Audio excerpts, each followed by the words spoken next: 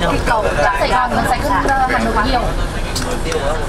Đường giá thứ hai mình thấy mình quên bẩn lắm giờ mình quên bẩn mình sẽ đi thuê một cái biệt thự để ở. Chị vâng. vâng. làm cái đào rồi nhà thịt luôn ăn ở đây cái này anh sẽ là gần em chia đúng không? Khi nào? Quay lại.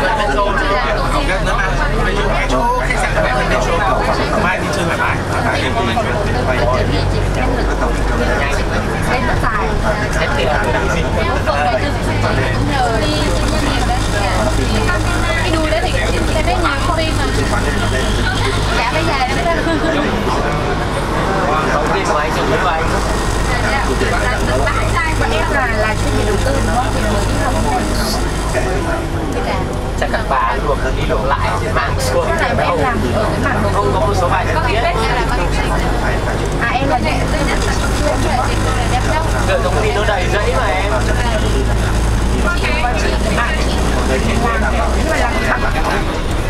Chị nào mà có vẻ giá đất là xí dục không? Không không không. Không không có thời gian nào đâu chơi giờ chị là chị gái của bạn rất là chị này chị em chỉ nghĩ là nó dùng Singapore anh em có hai số ạ của anh sẽ sang lại chỉ nhận một số thôi nhỉ?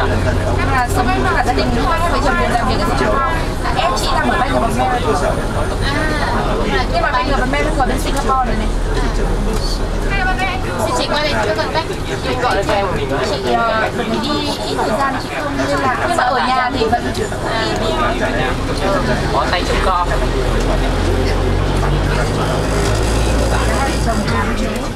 Thật các bạn ngày xưa chị đi học bổng NUS ở đấy này Thế là xong rồi sang bên này đấy thôi Thế là ngày xưa trước khi đi thì cũng làm này mẹ vẫn ở Việt Nam rồi. Xong sau bên này học xong thì ờ, trở lại ngân hàng đây làm việc luôn Xong rồi chồng chị sang đây làm việc. Cùng là hai vợ chồng thì bên này cái giỏi này của chị con. Tốt Tức là này chị con nó tốt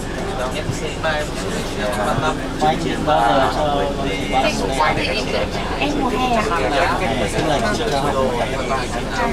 năm tháng sáu đấy ạ cho nó đi học tiếng Anh với cả cho nó đi study, à, cho nó đi tour thôi ạ.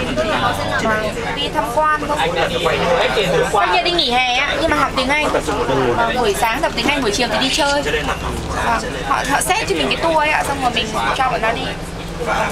Cho nó đăng ký vào đấy. Một đứa thì vẫn học chủ nhật các bạn, còn một đứa thì học ở trường mà chưa.